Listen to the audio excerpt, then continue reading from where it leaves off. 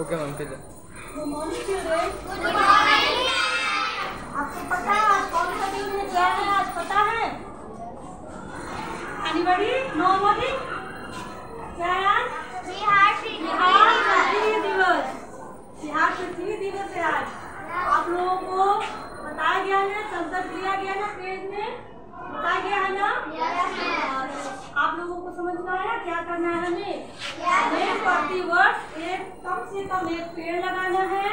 हमें अपना वातावरण नीट एंड क्लीन साफ़ सुथरा रखना है। पूरा करकट जमा नहीं करना है। पूरा करकट को डस्टबिन में डालना है। और इधर उधर गंदगी नहीं फैलाना है। अपने घर से लेकर विद्यालय तक और भी सारे जगह, सार्वजनिक जगह जितने भी हैं, सभी को नीट क्लीन रखना है। पॉलीथीन का उपयोग नहीं करना है, पॉलीथीन से कचरा हो जाता है, वो डिस्ट्रॉ नहीं होता है, वो इधर उधर फैल जाता है। हमें कागज़ का थैली यूज़ करना है, जिससे कचरा नहीं होता, वो गल जाता है, खत्म हो जाता है, ठीक है? हमें पानी उतना ही निकालना है, उतना ही बर्तन में लेना है, जितना यूज़ हो, उसके बाद नल को बंद कर देना, इससे क्या होगा? पानी की बचत होगी।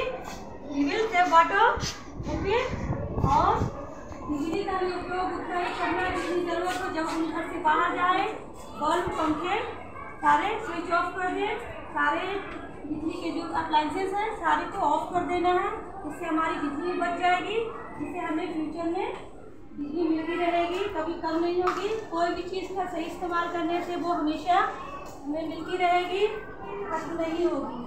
समझ गए बच्चों आप लोग?